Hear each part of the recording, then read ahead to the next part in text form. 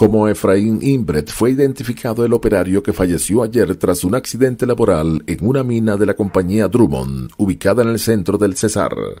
Las primeras informaciones indican que el trabajador se encontraba en la zona de talleres haciéndole mantenimiento a una grúa, cuando salió disparado el aro de una llanta golpeándole en la cabeza, provocándole graves lesiones.